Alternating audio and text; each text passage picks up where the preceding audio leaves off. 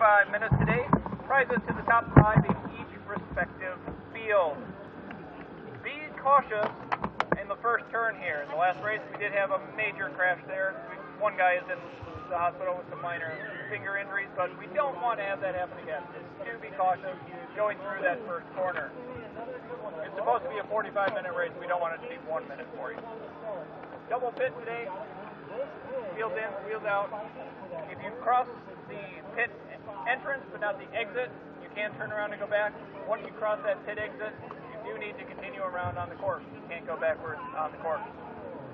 Anyone have any questions for me?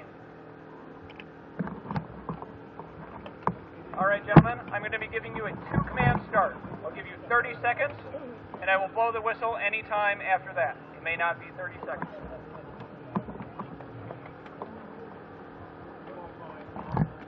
Gentlemen, you have 30 seconds to start.